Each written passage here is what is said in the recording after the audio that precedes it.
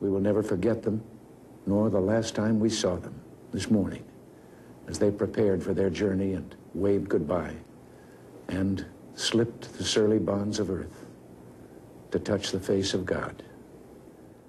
On January 28, 1986, the Space Shuttle Challenger broke apart 73 seconds into its 10th mission, resulting in the death of all seven crew members. This mission had already been postponed several times due to mechanical problems and bad weather.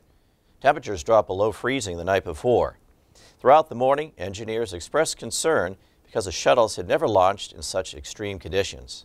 However, at 11.38 a.m., Challenger was cleared for launch. After the disaster, the shuttle program was shut down and a complete investigation ensued. Grief turned to anger as it was discovered there was gross negligence to launch that day. The relationship of O-rings and cold temperatures was known. It was concluded that cold weather caused the failure of an O-ring, a rubber gasket in the right rocket booster. It leaked flames that ignited the external fuel tank. After the loss, it took NASA almost three years to redesign, rebuild, and get confident about going into space again. Shuttle flights resumed in September 1988. I'm Mark Mancuso.